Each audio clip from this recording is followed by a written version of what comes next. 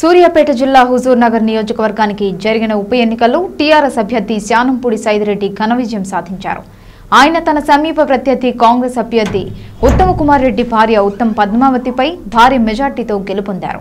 ప్రధాన పోటీ టీఆర్ఎస్ కాంగ్రెస్ మధ్య చోటు చేసుకోగా బీజేపీ మూడో స్థానంలో నిలవగా నాలుగో స్థానంలో టీడీపీ నిలిచింది. కాగా ఈ ఎన్నికల్లో సైదిరెడ్డి నలభై మూడు వేల ఆరు వందల ఇరవై నాలుగు ఓట్ల భారీ మెజార్టీతో గెలుపొందారు. దాంతో పార్టీ శ్రేణులు ఆనందోత్సాహాలతో సంబరాలు చేసుకుని స్వీట్లు పంచుకున్నారు. మూడు ముప్పై ఏళ్ళలో ఉత్తమ్ కుమార్ రెడ్డి చేయలేని అభివృద్ధిని మూడు సంవత్సరాల్లో చేస్తున్నారు. దానికి ప్రణాళిక ఏమైనా సిద్ధం చేసుకున్నారా?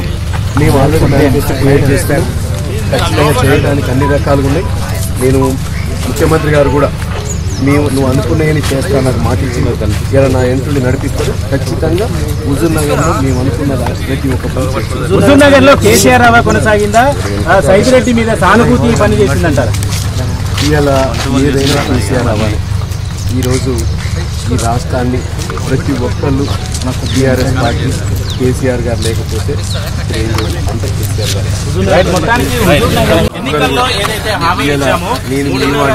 వచ్చే ఎలాంటి హామీలు ఇచ్చినామో ఇచ్చినటువంటి హామీలన్నింటినీ అమలు చేసేటువంటి బాధ్యత. ఆ, హామీ. ఇప్పటికే